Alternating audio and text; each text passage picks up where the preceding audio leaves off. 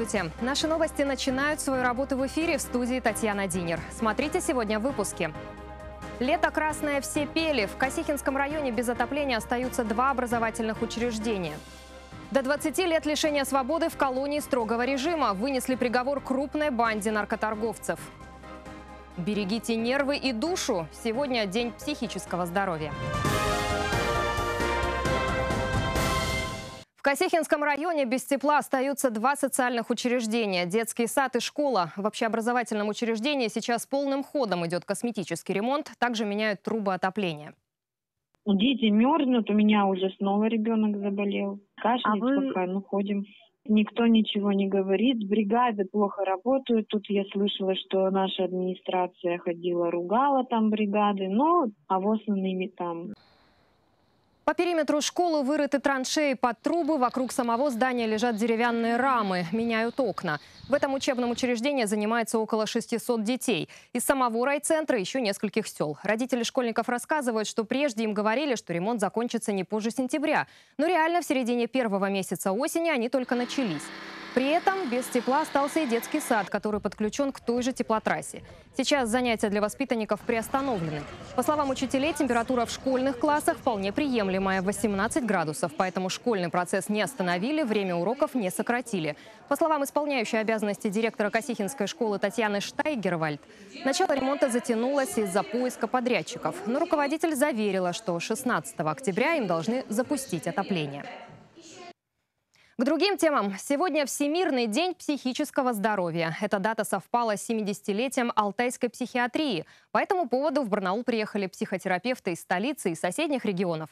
На большой встрече они обсуждали, как распознать и научиться жить с душевными болезнями, а также как избавить людей от предрассудков, связанных с, психи... с психиатрическими больницами. Тему продолжит Ирина Корчагина.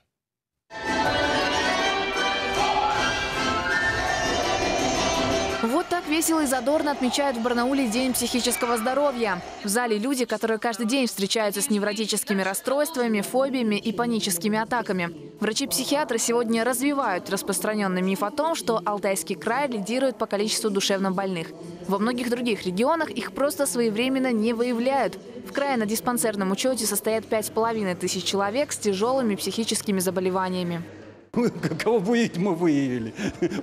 Поэтому спад идет вот в этом. А уровень от психических расстройств, он на одном уровне. И по статистике каждый пятый нуждается в помощи врача-психиатра, либо там медицинского психолога, психотерапевта. Приоткрыть завесу психиатрической больницы действительно может не каждый. Врачи говорят, что люди боятся, что их назовут сумасшедшими. А ведь неврозы, предупреждают психотерапевты, сами по себе не лечатся. Пограничное расстройство может перетечь в хроническую депрессию, а уже она в суицид. Сильная психика совсем справляется, а слабая вперед к психологу. Психологи только те же самые люди. По словам психотерапевтов, депрессиями чаще всего страдают люди среднего возраста, относящиеся к слою интеллигентов. На психическое состояние влияет уровень жизни, политическая ситуация, негативное влияние СМИ. Ну, в других городах я был, там может быть и напряжение больше. Так что но праздник необходим, стопудово. Ну, сильно большое психическое напряжение у людей стало. Очень и очень. Надо людей веселить как-то, что-то проводить, такие мероприятия. Если мне плохо, я выпиваю бокал кофе, и всегда поднимается настроение. Специалисты уверены, что главный фактор депрессии – наследственность. Она может проявиться, а может и не беспокоить всю жизнь. С этим нужно научиться жить и контролировать свои эмоции. Психотерапевты считают, что лучшее лекарство от всех расстройств очень простое. Это сон, спорт и любовь. Ирина Корчагина, Николай Шелко. Наши новости. На клюшку. Собственник Дворца зрелища спорта будет добиваться открытия арены уже в Краевом суде. Он подаст апелляцию на решение суда железнодорожного района Барнаула, который накануне поставил точку в громкой истории. Вердикт – не открывать объект из-за нарушений противопожарной безопасности. Нет, не согласен, не согласен. Почему? Ну, потому что все устранили, все устранено. Э, здание безопасное, есть экспертное заключение, независимая экспертиза, есть заключение э, судебной экспертизы. И мы, в общем-то, удивлены, почему доводы не были приняты во внимание. Прокурор района настаивал на том, чтобы владельцы здания исправили 16 пунктов. В итоге их осталось 7. Например, переделать несущие конструкции, помещения для склада, потолок в зале и фойе. В ответ собственник Крайсовпроф говорил, что для этого потребуется реконструкция всего Дворца спорта и большие финансовые вложения. По результатам судебных заседаний судья приняла решение о закрытии главной ледовой арены региона до устранения всех нарушений. После того, как ответчики устраняют э, нарушения, э, судебный пристав-исполнитель э, приходит, проверяет, устранено, не устранено, и решается вопрос об окончании исполнительного производства. В случае, если все нарушения будут устранены, те нарушения, которые именно создают опасность, создают угрозу жизни и здоровью человека, то можно свободно эксплуатировать здание. Тем временем стало известно, что концерт еще одного популярного артиста страны Сергея Лазарева вслед за выступлением певицы Ани Лорак перенесен на площадку меньшей вместимости. Хоккеисты профессионального клуба «Алтай» вместе с детской школой по-прежнему вынуждены проводить игры и тренировки в Карандин-арене на Жасминной-3. Громкое дело завершено. Новосибирский областной суд приговорил членов преступного сообщества к длительным срокам заключения под стражу. Почти два года с 2013 по 2015 сообщество занималось незаконным оборотом синтетических наркотиков на территории Новосибирска, Берска, Бийска и Барнаула. В феврале 15 все члены сообщества были задержаны, и лишь спустя три года им вынесли приговор. Подробнее в нашем видеосюжете. Руки за спину! Это эпизод задержания одного из тех, кто распространял синтетику на территории Барнаула. Петр Мазняк привозил в краевую столицу оптовые партии наркотических средств. Оперативную съемку задержания вели тогда сотрудники управления Федеральной службы по контролю за оборотом наркотиков по Алтайскому краю. Они долго выслеживали преступника. Мазняка задержали у дома, где он проживал с супругой и ребенком-инвалидом. Сопротивление злоумышленник не оказал. В квартире нашли несколько партий синтетических наркотиков. Почему начал заниматься? Ну, потому что ребенок на лечение надо ребенку. А я так на обычной работе я не зарабатываю столько денег. А, а сколько зарабатываешь? Здесь? Хм. Ну, по-разному. Ну, по-разному сколько? Ну, по-разному. 60, 70, 80. Месяц? Да. Валерий Мокшин свою причастность к преступному сообществу после задержания тоже не отрицал. Это видео наших бийских коллег. Мокшин привозил и делал закладки на территории Наукограда. В разговоре с корреспондентом по душам рассказал, что долго не мог найти работу, пока не увидел объявление на одном из популярных сайтов о поиске человека для транспортировки лекарств из Новосибирска в Бийск. Впоследствии, когда я уже начал понимать, что это не препарат, а похожий на наркотики, естественно, я задал вопрос, это героин? Вот, на что мне сказали, нет, это не героин, это спайсы, которые разрешены. Вот, понимаете? Вот. Но таким образом я привозил в Бийск. По словам Мокшина, когда узнал, чем он все-таки занимается, хотел бросить, но нужны были деньги. Кстати, в целях конспирации обмен сообщениями между преступниками проходил через интернет, а финансовые операции осуществлялись с использованием электронных платежных систем. Основную часть людей, которые входили в преступное сообщество, задерживали уже в Новосибирске, в том числе руководителя ОПГ Егора Ерохина. Именно он в 2013 году создал интернет-магазины для продажи бесконтактным способом наркотиков и их аналогов в Бердске, Бийске и Барнауле. В ходе задержаний и обысков во всех этих городах из незаконного оборота изъято более 100 килограммов концентрированных наркотиков. После трех лет следствия суд приговорил Ерохина к 19,5 годам лишения свободы. Другие осужденные, среди которых три женщины, получили от 7,5 лет до 16,5 месяцев лишения свободы. Татьяна Голубева, наши новости. В Рубцовске промышленные руины активно превращают в полигон. На территории бывшего Алтайского тракторного завода неизвестные складируют строительный и бытовой мусор. Остатки еды активно привлекают воронье и крыс. Люди выкидывают мешки и пакеты, где им захочется. В итоге свалка уже занимает несколько гектаров. Окружают ее стены бывшего тракторного завода, поэтому многие горожане о существовании под боком образовавшегося полигона узнают по запаху. Как объяснили в администрации Рубцовска, ликвидировать свалку должны собственники тех земельных участков, на чьей территории лежит мусор. После банкротства АТЗ территорию разделили между несколькими покупателями. Правда, кто владельцы, неизвестно. Их сейчас пытаются установить специалисты городского комитета по имуществу. А между тем, еще в феврале Рубцовский городской суд вынес предписание мэрии Рубцовска о ликвидации свалки. Но за полгода ситуация не изменилась.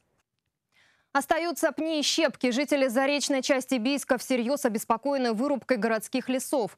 О том, что по этому поводу говорят правоохранительные органы и специалисты по охране лесов, далее в сюжете.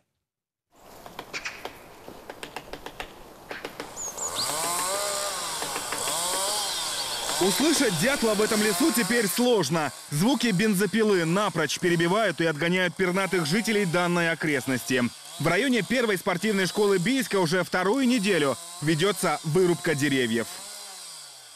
По-моему, это варварство просто над нашим лесом. Это вот единственная э, рядом с городом такая зеленая шикарная полоса, где можно и отдохнуть, и покататься, и подышать. И надо вот ее, что ли, вырубить? Я просто э, не понимаю, куда смотрит власть наша. В конце сентября лес пилили на втором километре Чуйского тракта в районе многоэтажных домов по улице Южной. На черных лесорубов эти люди явно не похожи. Преступники обычно работают в ночное время и деревья рубят не возле дороги на виду у всех, а где-то в глубине, чтобы не привлекать к себе внимания. Я не знаю, что они пишут здесь. Только наркоманов меньше было. Здесь работают специалисты компании «Леспромэкспорт». Это плановая вырубка или, как ее еще называют, Естественный отбор, но человеческими руками. Пилятся больные, сухие, кривые, а также те деревья, которые мешают расти другим соснам. Лес не уничтожается, он не убирается полностью на территории. Он просто приводится в то состояние, чтобы там не было естественного отбора, чтобы он рос. Вот э, у нас проблема э, в городских лесах нехватка молодняка. А в том числе потому что, э, потому что ну, не хватает света. То есть мы где-то проредили, убрали старые, больные деревья, э, значит, э, какие-то другие там нежелательные деревья и дали, дали свет молодняку. О том, какие именно деревья нужно пилить, решено было еще весной. И сейчас спиливаются только те сосны, где имеется специальное клеймо. Оно кривое и угнетенка стоит оно расти не будет. Оно вот такая вот кривое и будет, оно все равно погибнет. Вот оно тоже, оно, оно не дает, вот это вот дерево, оно не дает ни тому, ни тому дереву расти. Еще его толку Добавим, что ни одной жалобы в прокуратуру якобы на незаконную вырубку леса не поступало. А вот в полицию бичане звонили. Сотрудники правоохранительных органов выезжали на место. Нарушений не нашли. Все документы на вырубку имеются. Но несмотря на это, местные жители негодуют и стараются всячески препятствовать рабочим. В частности, срывают ленты ограждения, снимают и ломают специально установленные аншлаги, которые запрещают проезд и проход. Шут, пожалуйста. Это каждый день, один-два. В таких случаях предприятию «Леспромэкспорт», прежде чем заходить на объект, Наверное, не лишним будет провести разъяснительную беседу, чтобы у горожан не возникало много вопросов «зачем да почему?». А с другой стороны, такой контроль общественности – это гарантия того, что под острые зубья бензопилы не попадут здоровые деревья. Евгений Плохотин, Сергей Дровских, Иван Зяблицкий. Бийск специально для наших новостей. Фестиваль для абитуриентов проведет в Бийске Сибирский федеральный университет. Большой научный праздник и презентация институтов Красноярского вуза состоятся в школе номер 40 в субботу, 13 октября. Студенты и преподаватели СФУ подготовили научно-популярные лекции и профориентационные тренинги для школьников. Старшеклассникам и их родителям расскажут, как подготовиться к успешной сдаче выпускных экзаменов и какой будет приемная кампания следующего года. И в завершение выпуска о погоде спонсор прогноза погоды – компания «Эвалар». Когда беспокоит сердце, повышено давление, холестерин и сахар в крови, принимайте лекарство «Кардиоактив Таурин». «Кардиоактив Таурин» от компании «Эвалар». Почувствуйте разницу. «Эвалар» – выгодная цена, высокое качество по стандарту GMP. Переменная облачность, местами возможен дождь и туманы, ветер переменных направлений. Всего плюс 9. Днем ожидается в Заринске и Камне на Оби, около 11 градусов тепла в Бийске и Алейске. В Барнауле ночью плюс 3, днем 10 градусов выше 0, пасмурно и юго-западный умеренный ветер. Напоминаю, телефон редакции в Барнауле 722 440. У меня на этом все новости. Всего вам самого доброго и до встречи.